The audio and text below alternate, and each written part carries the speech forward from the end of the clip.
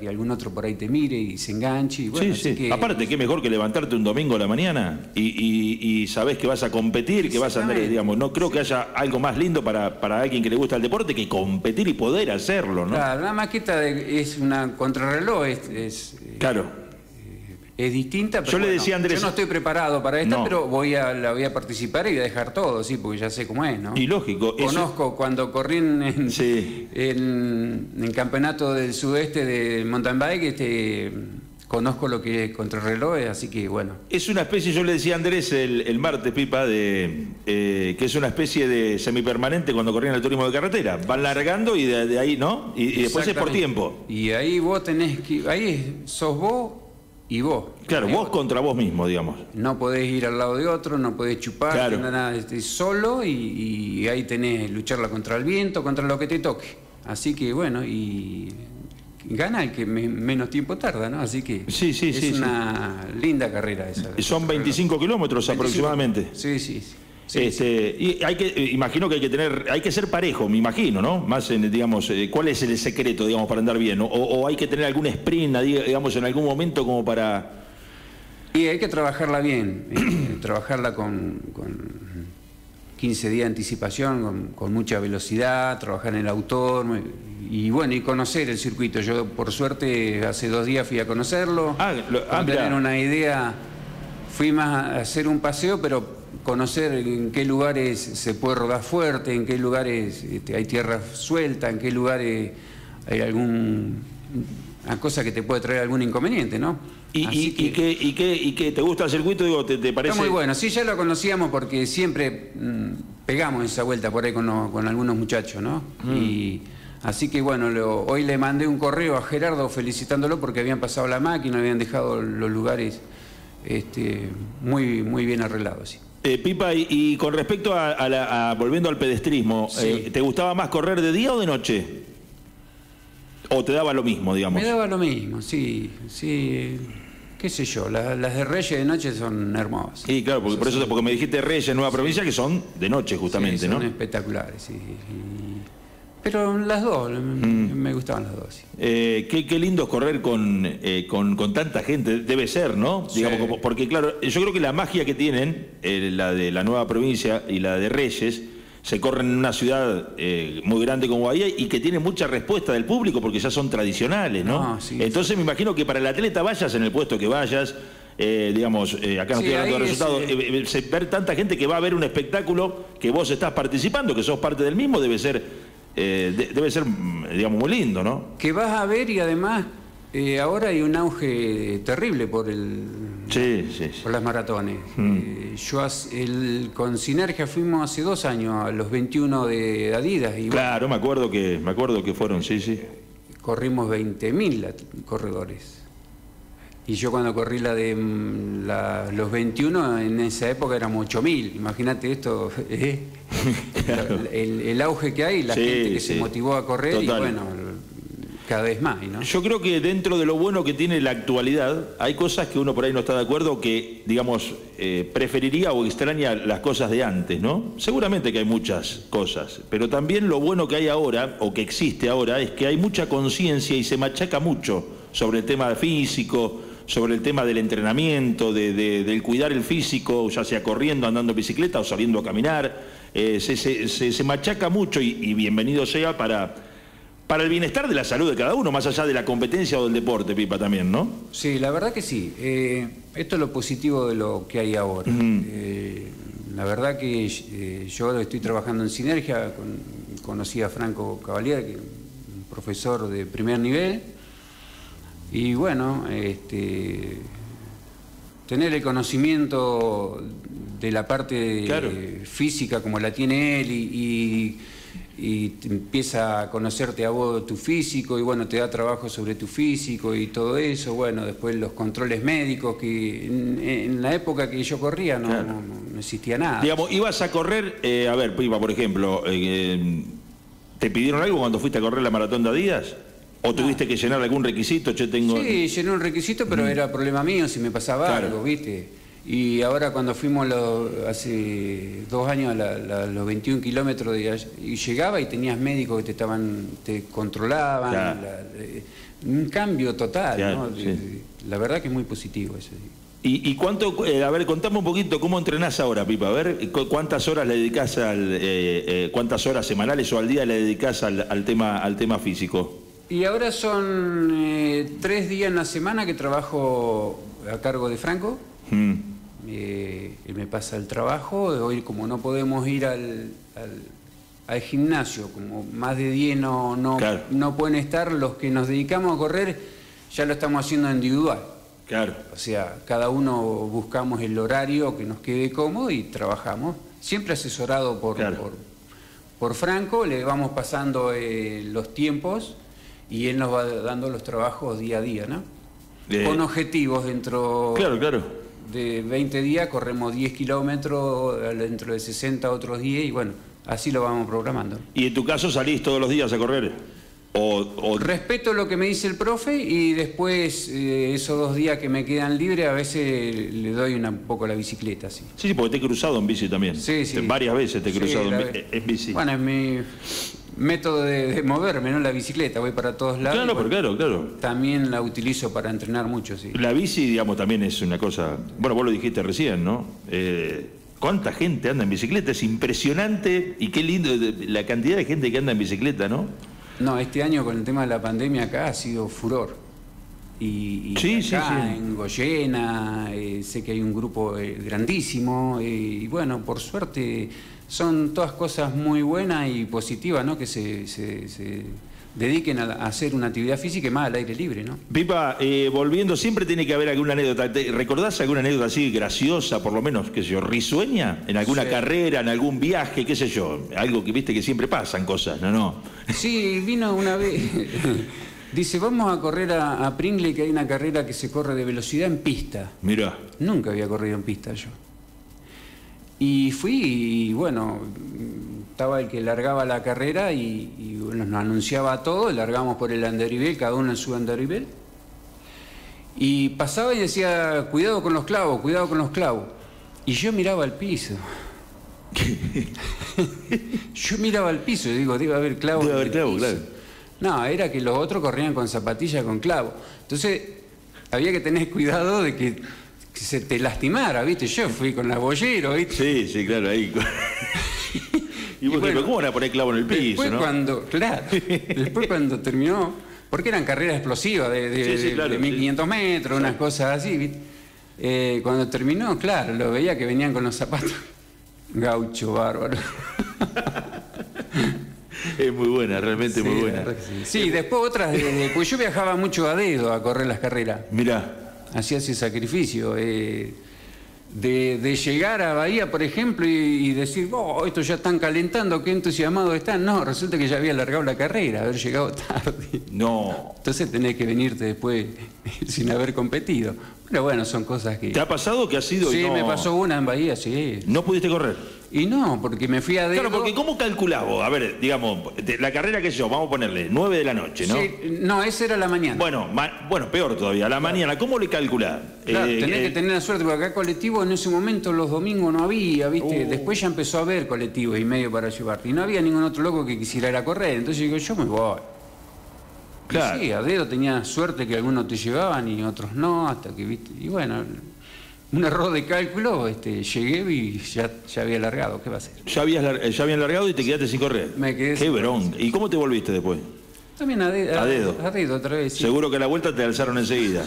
y sí. Porque pasa, viste también. Sí, sí, pasa, a, la vuelta enseguida. sí. Este, y, bueno, y Pipa, y volviendo al tema de cuando te eligieron deportista del año, qué, qué satisfacción, ¿no? Porque, digamos, a ver, eh, para un atleta, digamos, no, eh, no, no estoy diciendo que sea un deporte que se minimice, todo lo contrario, pero digo, no es el fútbol, qué sé yo, no, fue, eh, no, es, el automovilismo deporte más populares, ¿no?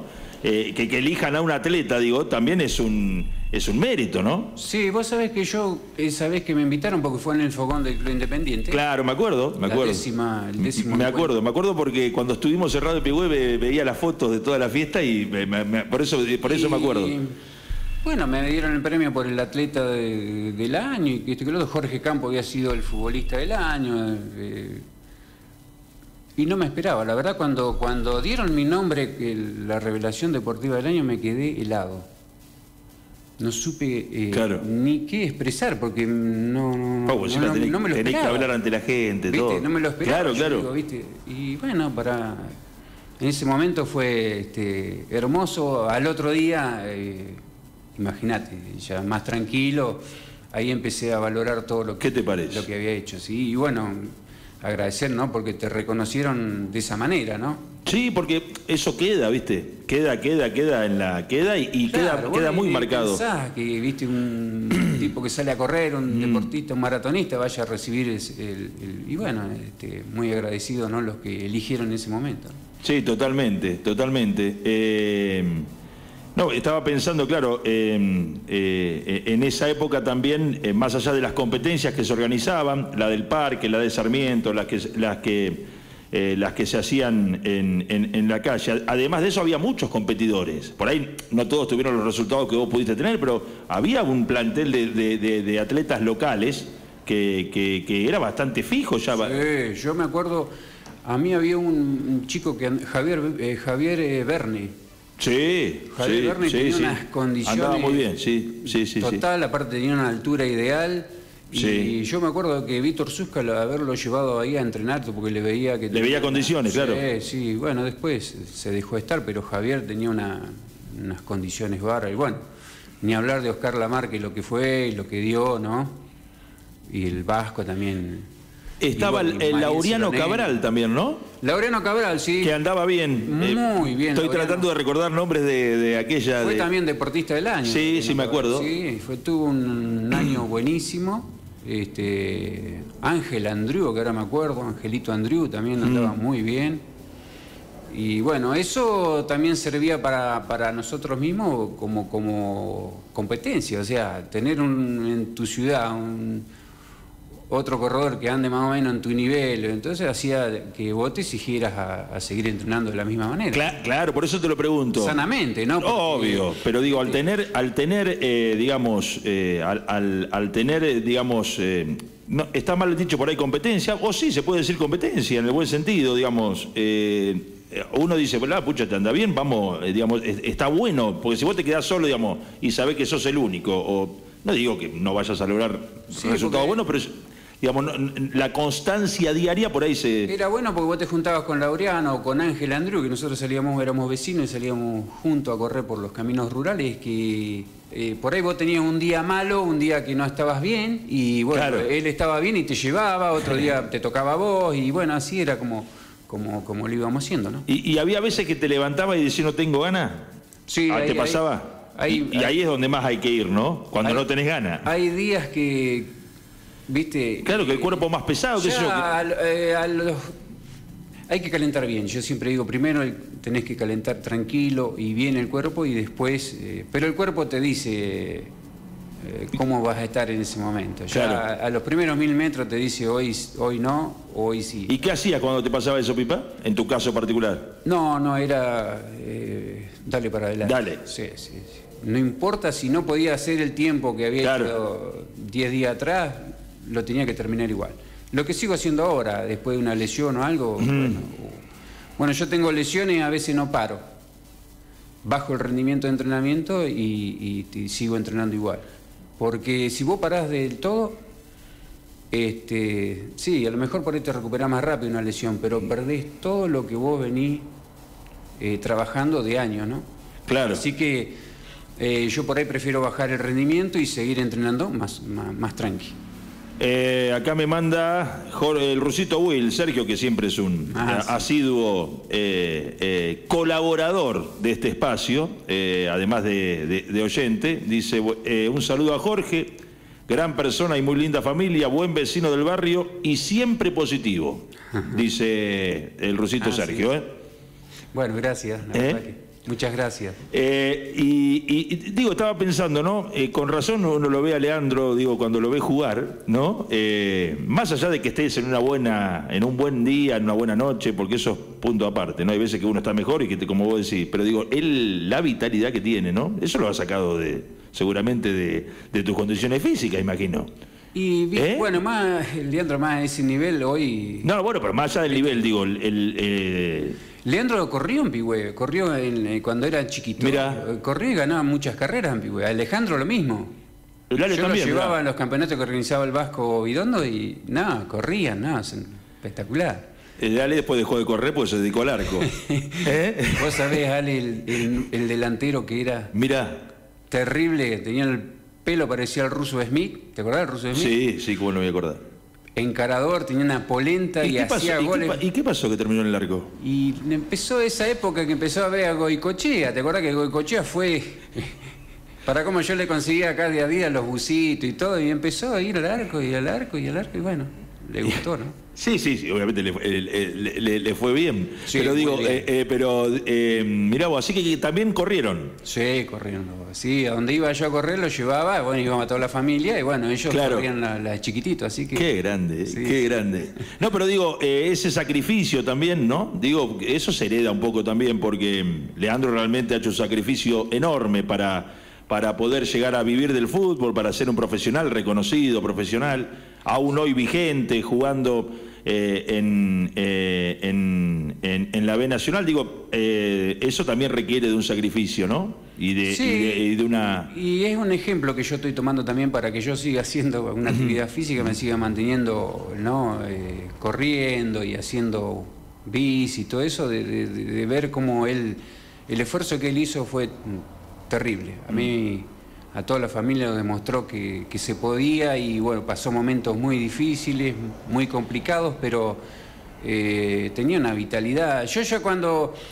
Ya le veía que él tenía algo distinto cuando venía de la escuela. Cuando llegaba a casa, eh, tiraba la cartera, se sacaba el delantal y ya tenía la ropa preparada, que la madre tenía todo el bolsito preparado, todo, y salía en bicicleta a entrenar al mediodía, pero comiendo un cacho de pan, lo que- y se iba a entrenar, yo ya veía que algo especial Mm. Claro. este, Sí, sí, sí. tenía, ¿viste? No faltaba el entrenamiento y iba constantemente.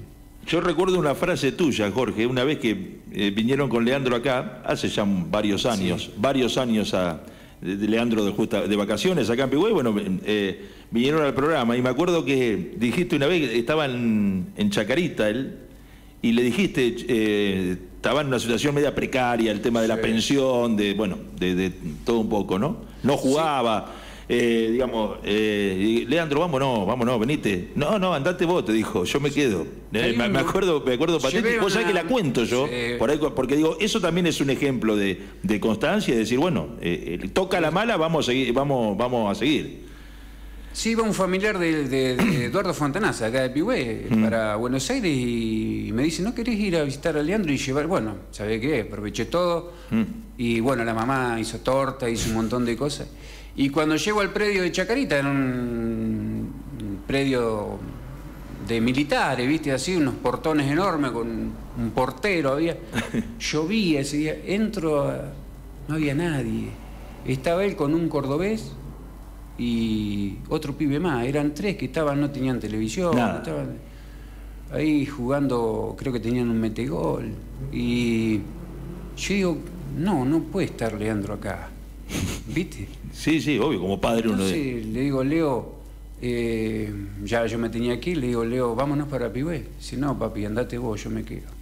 Y bueno, lo- la verdad que lloramos los dos porque él se quedó, viste, Sí, sí, sí. emocionó porque me No, no, pero son cosas que realmente yo vos sabés que eh, te lo digo y, y- y la, la cuento esta historia, la cuento por ahí con porque es un ejemplo, porque por ahí uno después eh, ve el gol por televisión o ve la tapa de una revista o ve qué sé yo, y eh, atrás de todo eso hay, hay momentos, momentos muy difíciles, momentos complicados, momentos donde en ese momento no te imaginás lo- después lo, que te pasó, digamos, eh, eh, porque y para un padre me imagino lo que lo que debe Claro, ser, Jorge, yo- ver que es decir, el- el- la, la realidad, ¿no? Yo digo, no, más vale que te, te gusta el fútbol, pero no, no, no me gustaba como estaba en ese momento ahí. Yo digo, no, no puede estar así.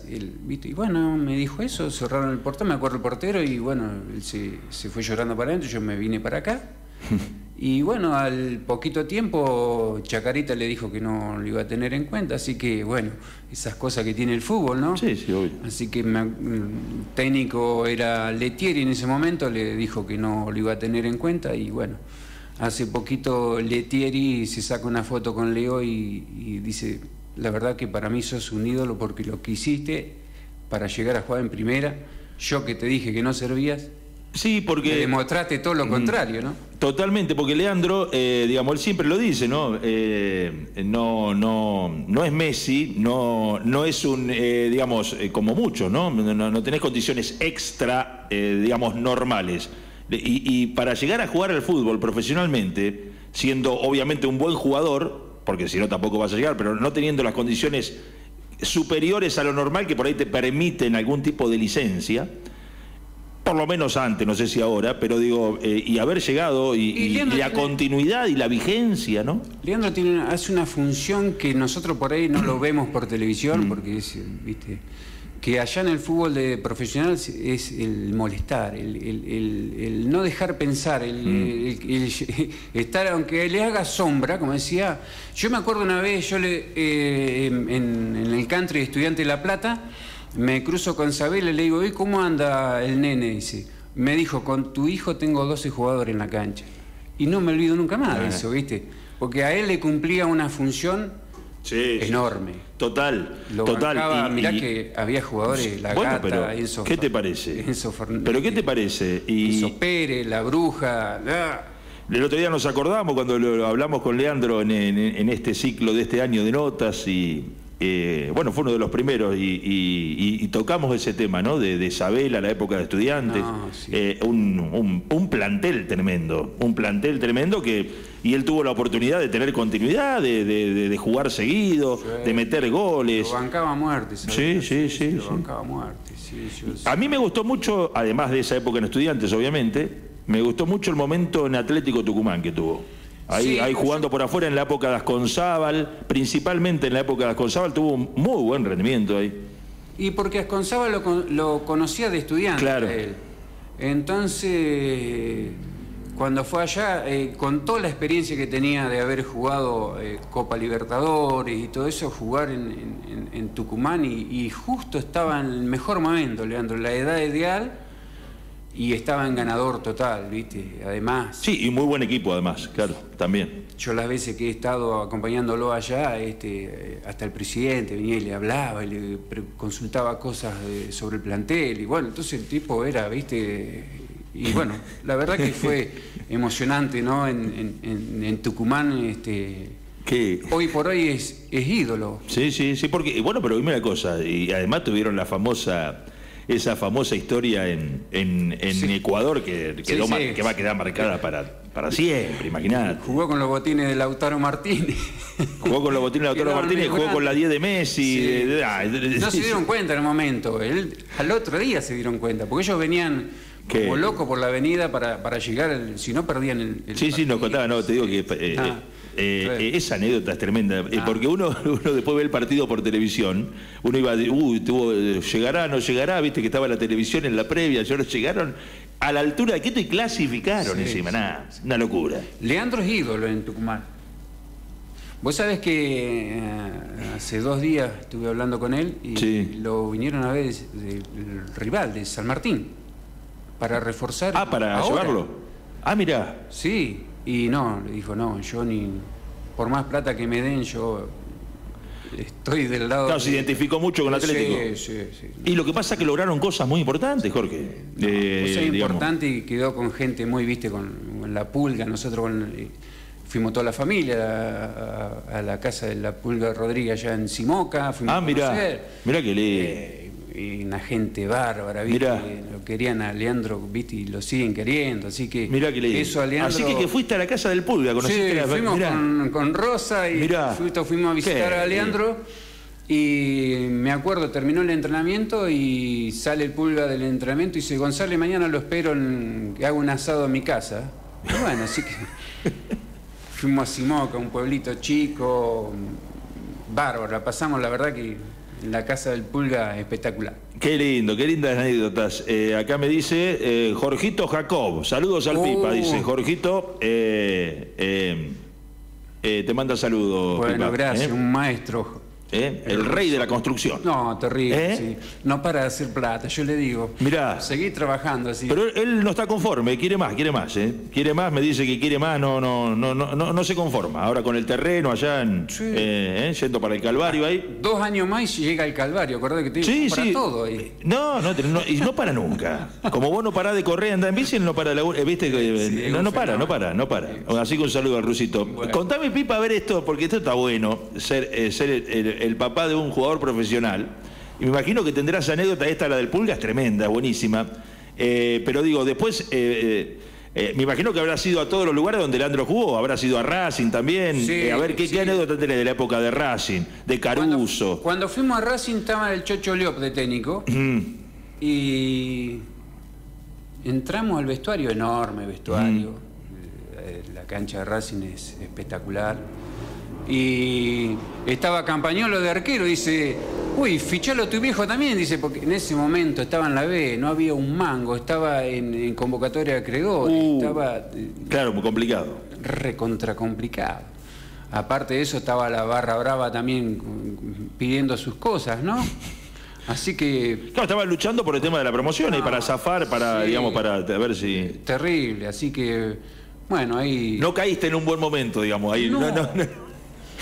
No, había un momento que eh, me decía Leo, no sé si te conviene venir a las, las prácticas, ¿viste? Y bueno, yo iba porque a mí me apasionaba ir a ver y acompañarlo, ¿no? ¿Y pero qué te Y parece? Yo me acuerdo una vez, ¿Qué te parece? fui a un entrenamiento una mañana y se apareció la barra brava y me acuerdo, estaba el loco Migliore, que Sí, era arquero. claro. Bueno, él solo sacó a todos. Ah, ¿sí? Vengan para acá, ¿qué quieren? ¿Quieren hablar? Vengan conmigo. Se lo llevó. Apa. Yo digo, Mamita. este está re loco. Sí, sí. No, pero viste, la tenía bien puesta. Sí, sí, evidentemente sí, sí, sí, sí, pero que, claro, eh, esas son las cosas que por ahí uno ve por desde la lejanía, ¿no? Vos tuviste la oportunidad de verlas en primera. Después, pero bueno, no, Caru- eh, después tuvo Caruso. Claro. Caruso un fenómeno. un fenómeno. Caruso le decía a Leo, vos me tenés que jugar de 8 y de 4. me tenés que correr por el 4 y por el 8. Yo me acuerdo en las, prácticas, lo- lo- era... No, era un ganador y zafaba muchos equipos, zafaron con él. Y sí, O sea, sí, sí, no ¿qué sé, te algo parece? tenía, ¿viste? Además, conocía a todos los jugadores, ¿viste? Y el que le hacía Sí. falta en un lugar, ¿viste? Lo trataba de conseguir. Sí, y, y, digamos, viendo la perspectiva, eh, Pipa, eh, de, de todo lo que vivió Leandro, digo, desde el Olimpo hasta, bueno, por to- todos los lados donde pasó, ¿no? Eh, digamos, eh, el, el- el mejor fue el mejor momento, digamos, eh, ese fue estudiantes, Sí. digamos, sí. Estudiante fue impresionante. Una, el plantel que había. El, el profesor Blanco, me acuerdo, el profe de educación física, estaba Guñale. No, una gente magnífica. Por eso a veces. ¿Cómo se identifica el jugador que pasa con los estudiantes? Este, por la gente que también tenés para, para trabajar, ¿no? Pero digo, el sentido de pertenencia que le queda al jugador que pasa por estudiante, porque eh, lo contaba Leandro y dice yo, la verdad que estudiante, ¿y cuánto hace que me fui de estudiante y sigo, voy, voy entro a la cancha, voy al, al country y me... y me- y- Bueno, pasado, y el año paso- pasado fui a visitar a Leandro, el año pasado, el anteaño, y dice, vamos al country, fuimos al country, este, eh, nos encontramos con el Chapu Braña, con Leandro de Sábato, que hoy es el técnico de primera, ellos trabajan todos en las inferiores, así que nos encontramos con un country totalmente europeo. Sí, sí, vos sabés Un que... cambio total le dio la Bruja Verón de que es presidente. La verdad que Lo es todo, lo recorrimos todo, nos, Mm. nos llevaron por todos lados. No, Leo entra y sale como, como si fuera su casa. Y- Magnífico lugar, ¿no? Sí, sí, no conozco la cancha de ahora, pero. Bueno, me dijeron, es- me dijeron que es un, es un, es terrible, sí. una locura, Sí. una locura. Me dijo gente que nosotros hasta, viajábamos a ver los partidos, jugaban en Quilmes. Claro, en esa época. época, Mm. claro. Sí, bueno, claro, de hecho cuando ganó la Copa, eh, cuando ganó la Copa, ¿ya jugaron el en único? Sí. No, eh, eh, no me acuerdo, bueno. No, yo no- No me acuerdo tanto, te digo la verdad. Creo que jugaron en el único. Puede ser. Sí, sí, pero bueno, eh, claro, jugaron mucho tiempo, mucho tiempo en Quilmes, claro. En Quilmes hacían de local, sí, sí. Y, y ahí en, en, en- en estudiantes, bueno, tuvo la chance de hacer un gol en la cancha de Boca, por ejemplo. Sí, hizo un gol a... Un viernes a la noche, un empate sobre la hora, me acuerdo, por ejemplo. Sí, también le hizo uno con Atlético Tucumán a Boca. También con Atlético, en la eh, digamos, qué, qué lindo palmarés te queda para después observar con el correr del tiempo, sí, ¿no? sí, todavía está eso por ahí los vuelvo a ver los goles y, uno revive esos momentos buenísimos, ¿no? De, un hijo, ¿no? ¿Qué te parece? ¿Qué te parece? ¿Qué te parece? Y bueno, lo mismo te debe pasar con Alejandro en otro nivel, pero en, otro, en otro lugar del campo de juego, pero también, ¿no? Sí, yo el año que jugó en blanco y negro Alejandro fue mm. impresionante. La verdad que mm, me demostró que una capacidad para estar en el arco y bueno, eh, se trabajó muy bien y lo demostró todos los domingos. La verdad que llegar a ser capitán y todo eso para mí fue un orgullo bárbaro. Sí, sí, en un club eh, donde llegaste recién, digamos que eh, sí, sí, sí, es verdad, es verdad. Y el arquero Pipa necesita continuidad digamos, eh, bueno, todo jugador necesita continuidad, pero el arquero más, eh, digamos, si el arquero, si cuando el arquero es suplente, es suplente. Digamos, de verdad, el jugador por ahí, qué sé yo, se lesiona o podés jugar en otro lado, o podés, viste, o podés entrar en el partido y jugar. Eh, el arquero, si, si, no sos titular, es que, digamos. Lo que pasa es que si vivís, si vivís del fútbol y sos profesional y lo aceptás, porque es tu trabajo. Sí. Pero en, las ligas de acá, viste, es más eh, difícil. pasó a mí, yo quería saber lo que era eh, jugar en una primera. Bueno, acá es lo mismo, vos querés jugar en primera y ser el arquero de primera, ¿no? Claro. Y bueno, por suerte Blanco y Negro lo, aceptó y Ale demostró que estaba en condiciones de atajar para Blanco y Negro, ¿sí? Mm. Totalmente. Bueno, Pipa, vamos, vamos redondeando. Eh, seguramente quedarán un montón de cosas para preguntarte eh, y seguramente cosas que después te va a acordar, pucha, mira, no hablamos de esto, porque me pasa también. Después, vos sabés que me olvidé de esto y bueno, sí.